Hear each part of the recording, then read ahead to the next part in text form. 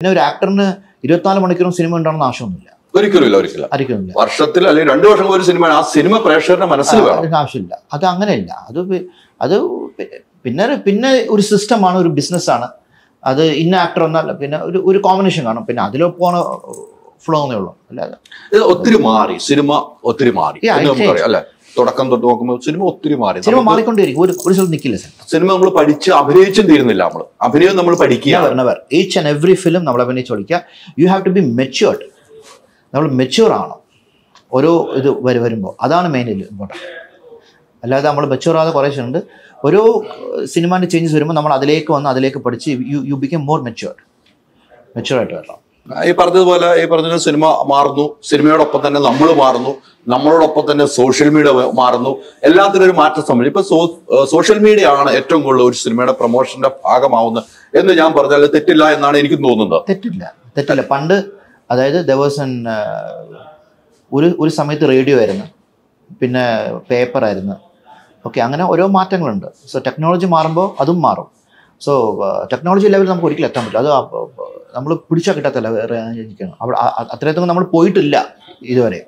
So സിനിമയും C cinema കഥകളൊക്കെ ഒന്ന് തന്നെ ആയിരിക്കും. അതെ. ഇതിന്റെ ടെക്നോളജി ആയിരിക്കും പറഞ്ഞത്. ആകെ പ്രേമം ദുഷ്ട ഇത് പ- പക പക. പക ഇട്ടി വരുള്ളൂ. അല്ലെങ്കിൽ ഇന്ന് ഇന്ന് ഈ കോഫി ഷോപ്പിൽ നടക്കുന്ന ഒരു ഇൻസിഡന്റ് ഇതൊക്കെ ആയിരിക്കും സിനിമ. ഇതിൽ ഒ- ഒന്നുമില്ല. ഇതിന്റെ ഇതെങ്ങനെ എടുത്ത് ഈ ടെക്നോളജി അല്ല എങ്ങനെ ഇംപ്ലിമെന്റ് ആയി? ഈ ഈ ആ സ്ക്രിപ്റ്റ് ഈ ടെക്നോളജിയിലേക്ക് എങ്ങനെ ഇംപ്ലിമെന്റ് ചെയ്യാന്നുള്ള മാറ്റങ്ങൾ അല്ല ഇപ്പൊ ഈ പറഞ്ഞ വിഷയിലാണെങ്കിൽ ഒരു ദിവസം നടക്കുന്ന ഒരു നേറ്റ് നടക്കുന്ന ഒരു സംഭവമാണ്. ഇത്തരം സിനിമകൾ ഇതിനു മുമ്പ് വന്നിട്ടുണ്ട്. ആ സിനിമയാണ് നമ്മൾ രണ്ട് മണിക്കൂറിന് മുകളിലേക്ക് കാണുന്നത്.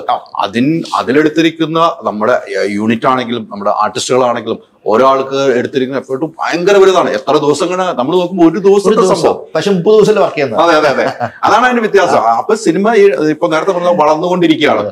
നമുക്ക് വേണമെങ്കിൽ ഇപ്പൊ ഒ ടി ടി എന്ന കാലഘട്ടത്തിൽ വന്നപ്പോൾ നമുക്ക് രണ്ടു ദിവസം മൂന്ന് അഞ്ചു ദിവസം കൊണ്ട് ഷൂട്ടിംഗ് തീർക്കാവുന്ന കാലഘട്ടം ഉണ്ടായിരുന്നു. ഒ ടി ടി കോവിഡ് സമയത്ത്. പക്ഷെ അതിൽ നിന്നും വീണ്ടും മാറുവാണ് നമ്മൾ നമുക്ക് എന്നും സിനിമയാണ് ഇഷ്ടം.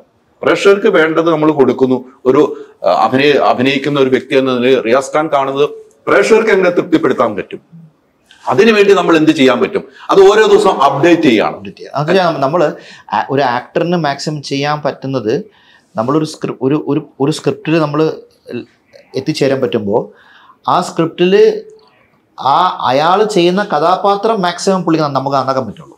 സ്ക്രിപ്റ്റ് നന്നാക്കാൻ പറ്റില്ല പക്ഷേ സ്ക്രിപ്റ്റ് ഈസ് ഓൾറെഡി ഡിസൈഡഡ് അത് ഞാൻ പോയി മാറ്റാൻ പറ്റില്ല ആ ഡിസൈഡ് ചെയ്ത സ്ക്രിപ്റ്റ് പ്രൊഡ്യൂസർ ഓക്കെ പറഞ്ഞു. ഇനി അതും പോയി ഞാൻ മാറ്റാൻ പറ്റില്ല ആ ഡിസൈഡ് ചെയ്ത സ്ക്രിപ്റ്റിൽ ഒരു വലിയ ലീഡിങ് ആക്ടർ ഓക്കെ പറഞ്ഞു. അതും മാറ്റാൻ പറ്റില്ല പിന്നെ ഞാനതിൽ ഇൻവോൾവ് ആകുമ്പോൾ എന്റെ കഥാപാത്രം എന്താണോ അത് മാക്സിമം നല്ലതായിട്ട് ചെയ്യാൻ പറ്റാൻ നോക്കുള്ളൂ. വിത്തിൻ ദറ്റ് ലിമിറ്റ് അത്രേ ബീങ് എ ക്യാരക്ടർ ചെയ്യാൻ പറ്റുള്ളൂ. ഒന്നല്ലെങ്കിൽ ഞാൻ ലീഡ് ക്യാരക്ടർ ആയിരിക്കണം. ഞാൻ ലീഡാണെങ്കിൽ എനിക്കിത് ഇഷ്ടപ്പെട്ടില്ല ഇത് മാറണം എന്ന് പറയാം. അതിന് ഡയറക്ടറും തയ്യാറാണ്